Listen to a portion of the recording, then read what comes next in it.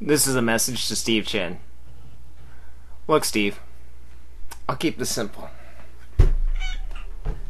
You comment on this video, and I don't kill the cat. Got it? Alright? So let's get those fingers typing, alright? Talk to you later.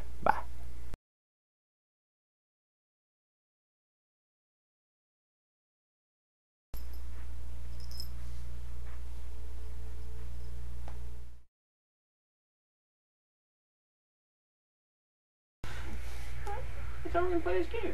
You better run, bitch!